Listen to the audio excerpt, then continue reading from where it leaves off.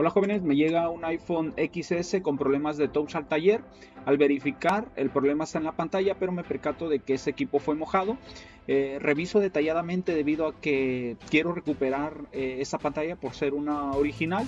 Me percato que hay una zona que fue sulfatada con la humedad en la parte de donde se une el panel touch con el flex. En esa parte lo desoldo y empiezo a quitar todo el sarro, incluso hay un orificio en el flex a limpiarlo con el bisturí.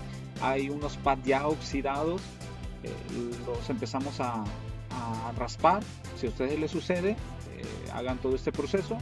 Eh, aíslo, aíslo toda la parte que se desprendió el, el esmalte, el aislante o resina.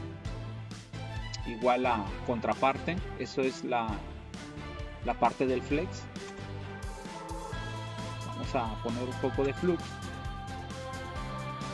máscara. Vamos a, aislar para poder trabajar correctamente y volver a estañar los pads que ya están oxidados, ocasionados por todo el tema de humedad. Ahí curamos y vamos a con el cautín a estañar aproximadamente 300 grados debido a que es un flex y vamos a trabajar ahora y estañar la parte del panel.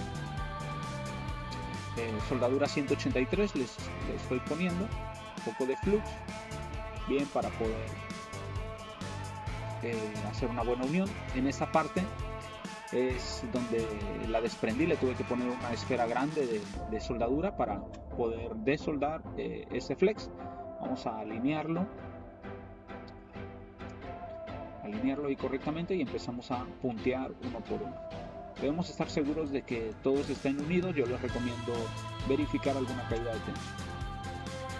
Bien, aquí como logramos ver, el touch está funcionando, una pantalla original, la parte baja donde estuvimos trabajando.